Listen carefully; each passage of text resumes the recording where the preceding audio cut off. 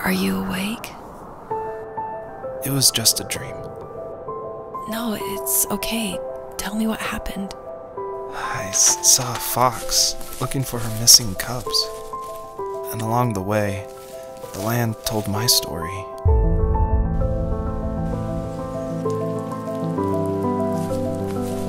A path was illuminated before her, and it led to something ancient, something with answers. So she ran.